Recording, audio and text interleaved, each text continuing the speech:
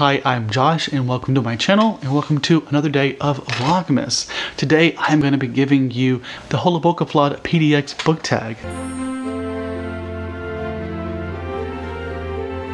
So this, like the other tags that I have been doing or am doing this month, is a themed seasonal book tag. And this book tag I was created just this year by um, a booktuber who I'll tag below, and I was tagged by Hannah from Hannah's Books, which I'm appreciative of, because I was really looking for a reason to do this tag because I did love it. It's such a great seasonal tag. It's Jolabokaflod, uh, which I can't say is a festival that goes on in, I want to say it was Iceland, because there's this island in Iceland that had this, or this tradition of giving books as gifts because they were no trees on the actual island to be able to make the books. So to be able to give books was a unique and special occasion. So that's the idea behind this, and that was why this tag was created. And I think it was a great idea for a tag. It really so seasonal and so unique. Question one, the name. What is an unpronounceable or difficult to pronounce word that you love? I mean, can I use Jolabokaflod?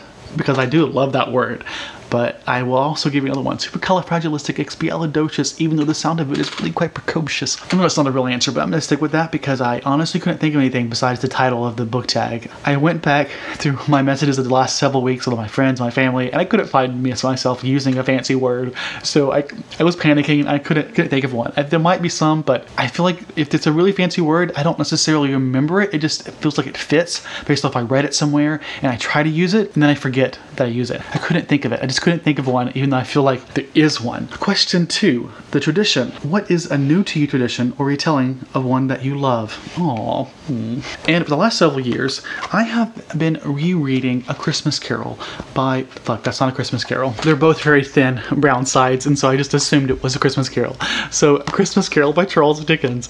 And I love this story because it's a lot of what I love. I said this, or will say this in my next tag, I think it's tomorrow. Because it's like a ghost story, so it's kind of horror gothic, also time travel and it's just those two things are the epitome of what I love. So much so that I can get past the fact this is Victorian literature, or I think it is. Like the setting itself, I have trouble getting into stories that are in this type of setting just because the dialect is hard for me to get into.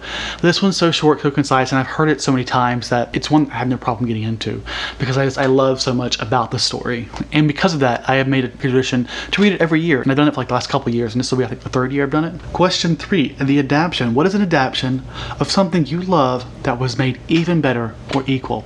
And for this one, I'm not going to show the book because it's a big one, but it's Interview with a Vampire by Anne Rice. I haven't read this book in a while, but I do remember loving it not as much as the sequel, but I must say that the movie I think is such a fantastic adaptation. It's an example of like a perfect adaptation. And this is a, a book about two vampires. In a movie, the main characters are played by Tom Cruise and mm. Brad Pitt, and they're just such a great duo. And I, I watched that movie as a kid. It gave me nightmares because I was too young to watch it.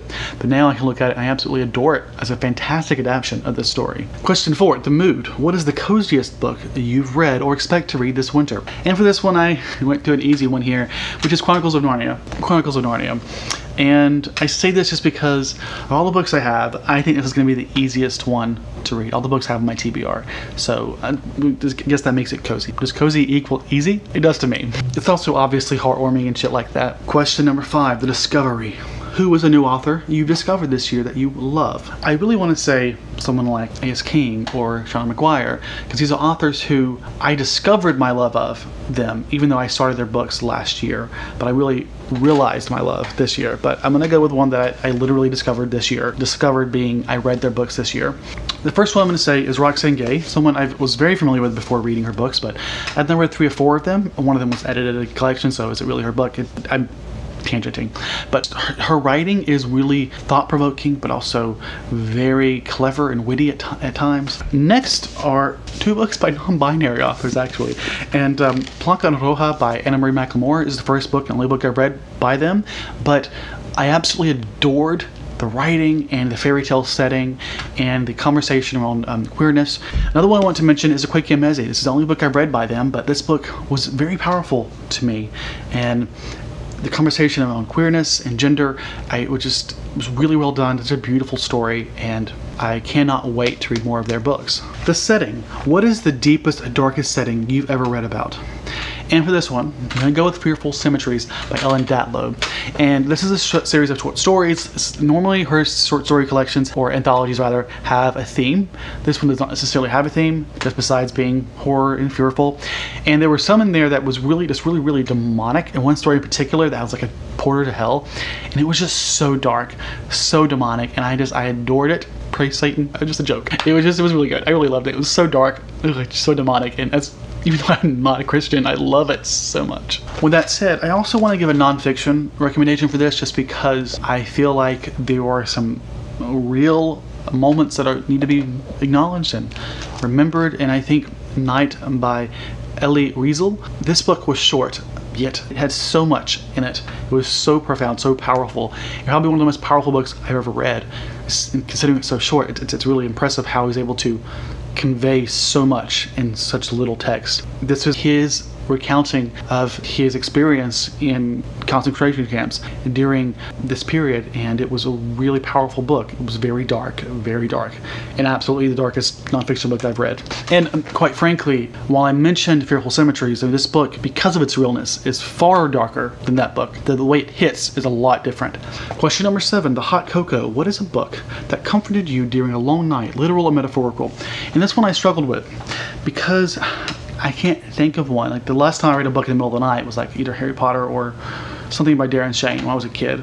So instead, I decided to think of a book that I read around the time that I lost a family member back in August. And I remember really connecting to the book, even though the book itself isn't necessarily related the death of my family member, or even something I thought to myself, oh, this makes me think about the death. Let me just say it. Uh, the Death of Vivek Oji by Akwaeke Emezi, so the same book I just showed you. This book was so beautiful, so powerful, and I guess the best thing I can say here is just that I was I was struggling to read at times, and this book really helped me read, I suppose. Like it was just, it was something that was easy to get lost in because of how well it's written and how powerful it is. Question eight, the gift. What is an indie book you'll be giving this winter season? And I don't give indie gifts. Usually when I'm giving a book, it's going to be a really popular book that I think someone might be more likely to read. I just don't know a lot of people who read a lot of books, let alone books that aren't popular. Instead, I'll say Caste by Isabel Wilkerson. I've gifted this to a couple people in my family. I think I may have also gifted Stint from the beginning, but technically I gifted it earlier in the year. But the, the intention was for it to be a Christmas gift, but it doesn't really matter. Now, I will mention here a book that you could say I gifted myself, I guess. It's definitely from an indie publisher, and that is Once Upon a Time, edited by Todd Sanders. And this is a sort of fairy tale, adult fairy tale short story collection. And this has some beautiful artwork as illustrated by the cover. And I ended up buying this even though I haven't read it yet because I got a NetGalley arc and I realized that this book was like a limited edition and I was like so excited about it that I ended up buying it. And I'm excited to get to it eventually. I don't know if I'll love it or not, but I did love the artwork and I love the idea of fairy tales. So um, hopefully that it'll be a good story collection. And those are all the questions. Thank you so much for watching. I hope you have a fantastic day and happy holiday. Goodbye.